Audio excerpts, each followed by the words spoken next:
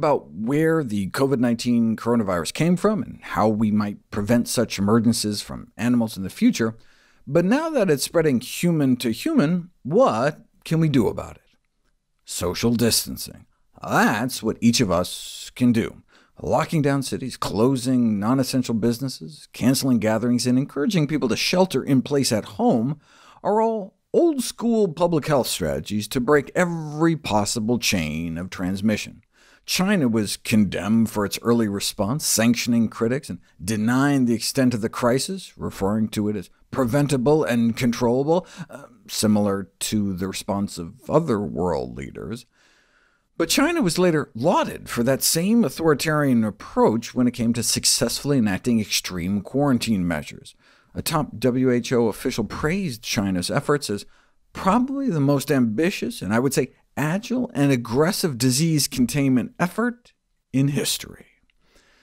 It was, however, too little too late to contain the disease locally. By the time authorities banned travel out of Wuhan, uh, more than a third of the 14 million residents had already left the region, uh, whether for the Chinese New Year holiday or to flee before the lockdown of the city went into effect on January 23.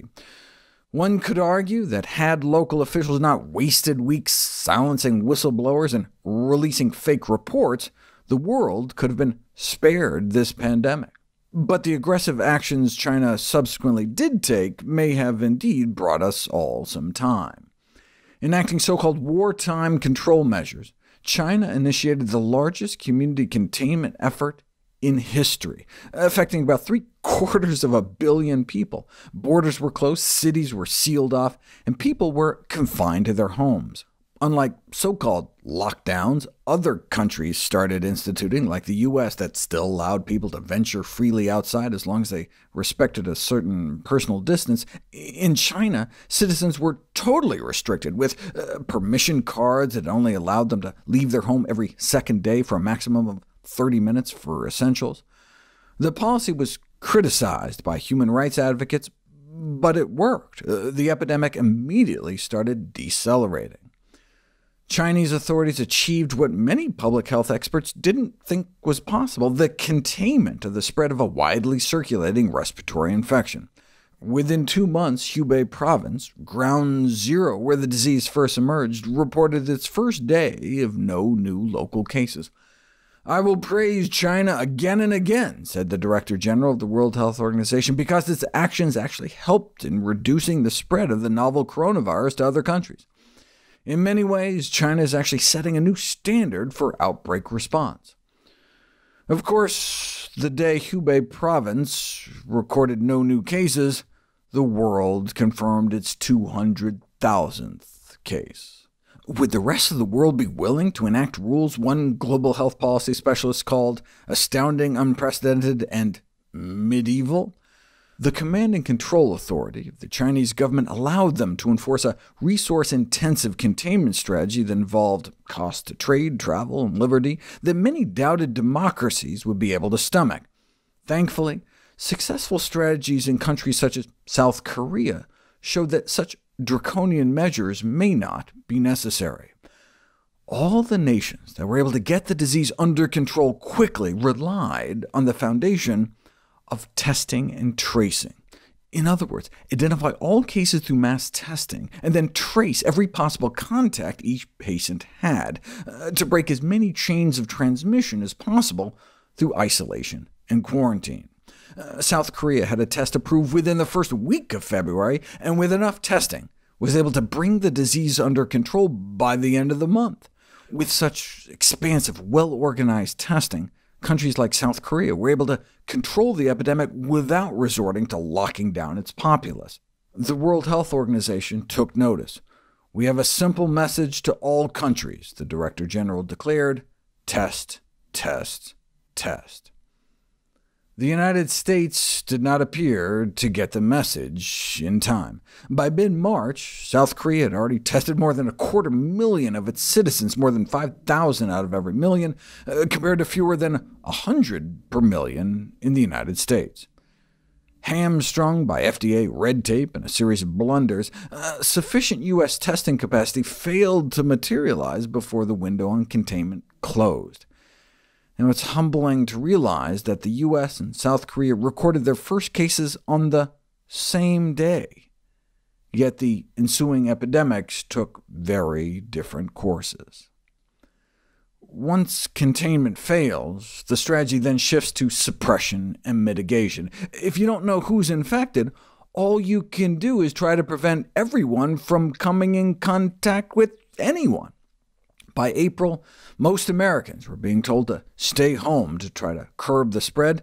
As Dr. Fauci said at a press conference, if it looks like you're overreacting, you're probably doing the right thing closing non-essential businesses and encouraging people to stay inside to limit social contacts are efforts taken in an attempt to flatten the curve before it flattens us, uh, flatten the epidemic curve. In other words, slow the spread of the illness to more evenly distribute the cases over time. This would give health systems time to scale up and respond effectively, uh, not only to treat COVID-19, uh, but to maintain overall care continuity. Uh, during the recent Ebola crisis in West Africa, for example, deaths increased from other causes as well, due to the saturation of the healthcare system, as well as the death of healthcare workers. School closures are more controversial, as they could threaten the availability of the 29% of healthcare providers in this country who live in households that would need to take care of young children. One model suggested that school closures might have to reduce COVID-19 cases by more than 25% to make up for the loss of healthcare workers in terms of an overall net reduction in COVID-19 mortality. A 25% drop may be achievable for pandemic influenza, a disease in which children may play a critical role in community transmission, but children don't appear to be the main drivers of the transmission of COVID-19. Until an effective vaccine is widely available, likely not until 2021 at the earliest, Population lockdowns can help rob the virus of susceptible hosts. Uh, once such measures are relaxed, though, the disease could come roaring back. In the pandemic of 1918, for example, uh, some U.S. cities experienced a second peak in mortality following the lifting of social distancing measures. Um, check out what happened in St. Louis. As soon as they detected a doubling of the baseline mortality, they instituted school closures and a ban on public gatherings, and you can see how they were successfully able to bend the curve, so uh, they decided it was time to relax the social distancing, and they got a big spike in new cases that required a reinstitution of the shutdown measures. Uh, but the important thing is they instituted the social distancing early, within days of their first case. Uh, compare that to how Philadelphia reacted. Uh, it took them weeks to shut the city down, and they suffered the consequences. Here's a graph of that double hump death rate in St. Louis compared to what they suffered in Philadelphia. And here's the mass graves they then had to dig in the city of brotherly love. It's better to be six feet apart than six feet under. By periodically pumping the brake with flattening the curve strategies like shelter-in-place ordinances to slow community transmission, the hope is that we can turn the initial tidal wave of cases into a, a, series of smaller successive waves our healthcare capability can more safely ride out. If not, uh, more intensive care units in U.S. hospitals may become overwhelmed, just as they did in Italy, and doctors will have to make triage decisions as to who lives and who dies. Uh, triage protocols have already been published. Uh, first in line for ventilators are those who are most likely to survive, both in the short term and over the subsequent year. Then the priority goes to children and adults under the age of 50. Those 50 to 69 are in the next tier, followed by those aged 70 to 84, and then finally lowest priority is given to patients 85 and older. If there's a tie, life-saving ventilation may be allocated based on some form of lottery, like flipping a coin. In the New England Journal of Medicine, a preeminent group of medical ethics experts wrote, we believe that removing a patient from a ventilator or an ICU bed to provide it to others in need is also justifiable, and that patients should be made aware of this possibility when they're admitted to the hospital. Adding, the decision to withdraw scarce resource to save others is not an act of killing, and does not require the patient's consent. Wow, can you imagine?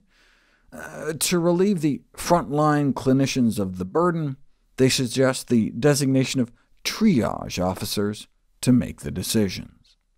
The countries that were able to mobilize the fastest and have been able to best control COVID-19 were those who had learned hard lessons from previous outbreaks. China, Hong Kong, Singapore, and Taiwan bear the memories of SARS. More recently, South Korea suffered a MERS outbreak in 2015, uh, triggered by a businessman returning from the Middle East. The country's test and trace infrastructures were therefore in place, and its population is primed to sacrifice for the promise of containment. If outbreaks involving dozens or even hundreds of deaths can rally countries to a state of pandemic preparedness, perhaps the thousands or even millions of deaths from COVID-19 will orient countries of the world to the mission of pandemic prevention. Uh, but first, what can each of us do individually to ride out the current pandemic? That's what I'll cover next.